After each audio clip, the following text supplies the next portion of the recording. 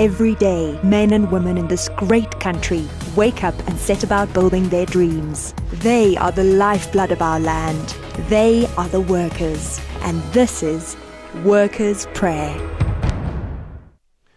If you're living in a shack, you have no perspective, no job, you have no source of income. And to add on the problem, you are depending on others. You're so depressed. Well, you have just tuned in the right channel because here we are going to show to you that faith can open doors, faith can transform your life. My name is Nobuntu Sani. My life before I came to the spiritual treatment, it was very, very bad. I was labeled an attitude girl. I was very poor. My family was poor.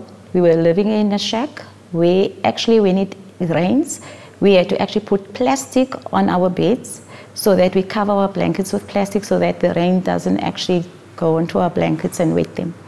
That's how bad it was. My brothers, all of them, three of them, weren't working. They were alcoholic. My, my sister was also in a job that was not stable. So the person that was actually literally looking after was my mother, who was also a domestic worker, which also didn't get much of an income. I've always been invited at the church every day whenever I pass here to go to work, um, but I always ignore it. Then there was a time whereby I had um, a problem at work where they actually wanted to put a disciplinary action on me. I was very devastated in that form that I thought of one thing who can actually help me because now I didn't have anybody to talk to. So I pause here, that is whereby I went into the church and I learned the movements of faith, I learned how to pray, I learned that actually God does exist. After that, um, my life has become a blessing because then I actually got that promotion.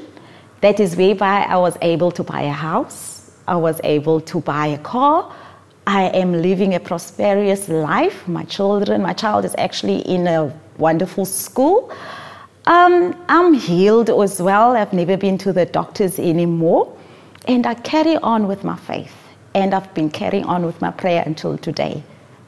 Jesus is alive, and Jesus heals, and Jesus is there for anyone who seeks Him.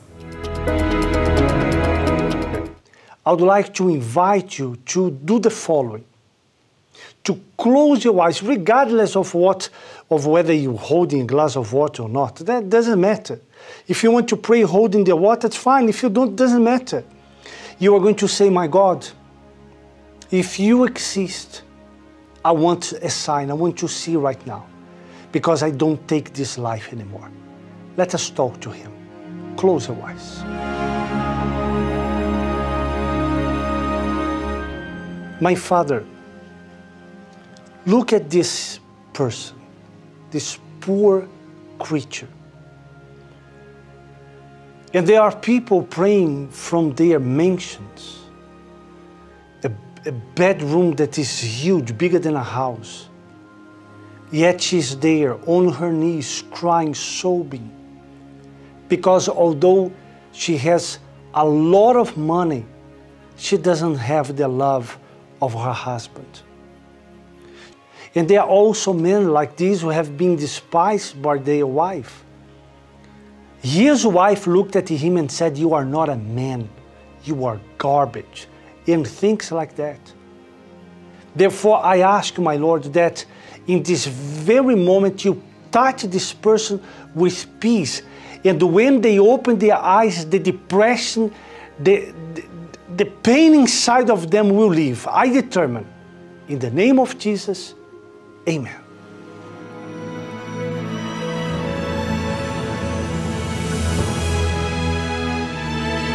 Well, he is alive, and I believe that God has touched already your life. And talking about being alive, be ready, because this coming Good Friday, we are going to be in Ellis Park Stadium in a very special event which we believe will change your life. Until tomorrow, and God bless you. Workers' Prayer.